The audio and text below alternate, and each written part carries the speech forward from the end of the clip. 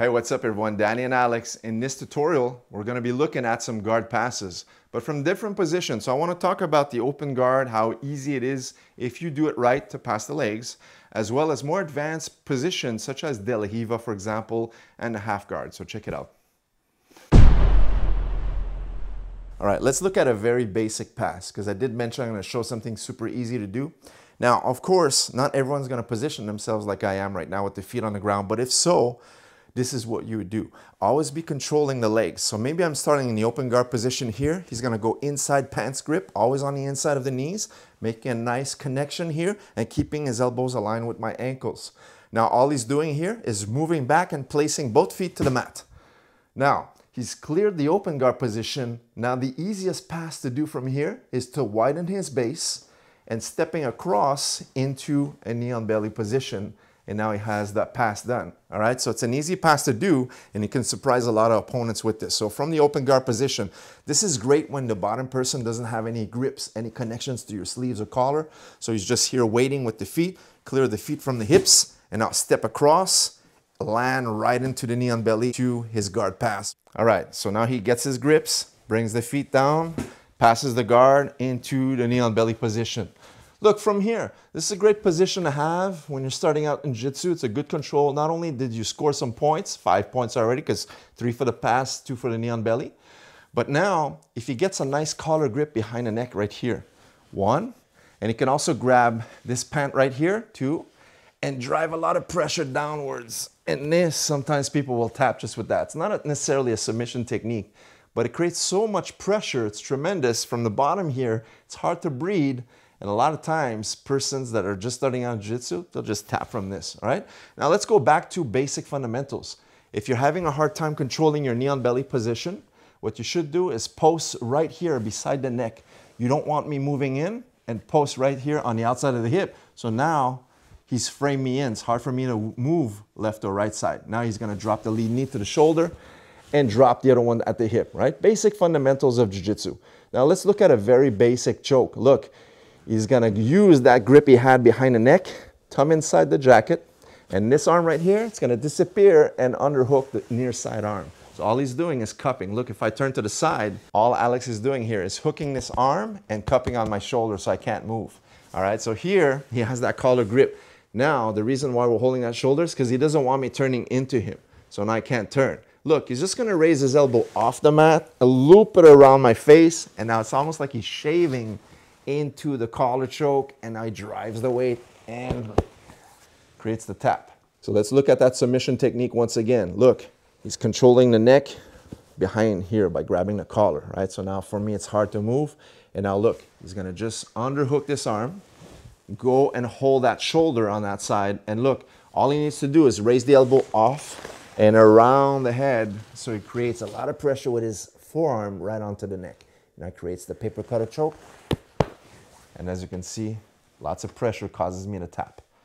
All right, so we start from this position here, talked about some basic guard passing, but once this guy is more savvy in the guard techniques, he's gonna put you with a lead hook, all right? So this is called De La Riva guard. So basically, if you don't know what to do from here, you're gonna get stuck. What's the main difference between open guard, De La Riva, and maybe even half guard? Well, basically, open guard, he's not controlling any of your limbs. He's just having his feet in front of you. Now, De La Riva is controlling that lead leg. If I were to drop my knee onto the ground, now he's gonna control that same leg using the half guard technique. We'll talk about that in a moment. But for now, De La guard, what you wanna do from here is prevent the extension. So a lot of times, like we looked at previous videos, he wants to bring this leg back. He's gonna push me back off balance so he can drive me into some sweeps. So what I'm going to do is drop this all together. Now he can't use any push. Now he's lost control of that back leg. What I want to do from here is get a nice control to his collar so I can stand up once again, but make him remove his hooks. When I posture up, he's going to come with me. Watch. From here. Now look, I'm going to go over, reach for his belt. Reach for his belt right here. And now this hand is going to wait for this knee here. Now I'm going to back step over that leg. Now watch. When I have a seat from here, I'm controlling him now it's easy to remove this leg underneath my hips and now drive his hips back and now I can control the top position into side control. So I'll show you guys another angle. So here again, Now I don't have any grips, so one pass you can use here is just kneel on the back leg. Now he can't push you off balance. Now to remove this hook, I'm gonna go back into my connections, have him bring him up. As you posture up, you want him postured up, boom. Okay, now watch this, from the back. You reach over his head and grab his belt right here. Okay, let's turn again, Alex. Now from here, this hand is gonna underhook the leg, but also watch my back foot. It's gonna jump over that lead leg, have a seat. And now look, easily remove this hook, bring it under your hip, drive his legs away. So you're back into side control position and you have your pass. Now, let's look at the half guard. If you made a mistake or simply dropped the wrong knee on the mat, for example, instead of dropping here like our previous technique, you decided to drop this leg here. What's gonna happen is gonna lock you into the half guard position, right? You see how correlations start to connect between different guard positions and depending on how you position yourself to pass the guard, this is where he's gonna trap you, all right? So this is the half guard. We talked about half guard sweeps in previous videos, but now I wanna show you a very basic pass. If you end up here and you haven't had that head connection just yet, the first thing you wanna do is close the distance. You don't wanna be trapped in half guard here. A lot of times beginners just try to free their leg, push this leg out. This is not gonna work, guys. What I wanna do immediately is remove the distance and get close to him. All right, so look, what happened is you're gonna dive your arm underneath his arm. That's called an underhook. So I'm gonna drive this here and bring my shoulder onto his chest and my head right beside his head. And now look, I have access to this arm, which I can hold against my body. Now notice how this leg is not on the mat. I'm not leaning my knee on the mat. I'm gonna bring my knee off the mat and post my foot nice and wide. So I have a good base and I'm half man out. Now all I need to do is start to shake my leg out. Look, he's holding my knee here. I'm gonna start to bring my knee off the mat, shake it, shake it, shake it. Once here that I feel that my knee is free, look, I'll bring his knees inside and start to slice across. Now my knee is on the mat, my foot is trapped, and look, I'll use this leg, push the top leg out, free this foot, get into my base, and now I've cleared the guard. Now, once you do this technique, I wanna share one more additional detail that's super important. The moment you get to here, if you forgot to bring your arm underneath his arm, now this opponent could be savvy enough to take your back. Look, he's gonna move, and this is exactly what we showed by taking the back in a previous half guard video. All right, so we wanna prevent this. So Jiu-Jitsu is a game of chess. It's counter for counter.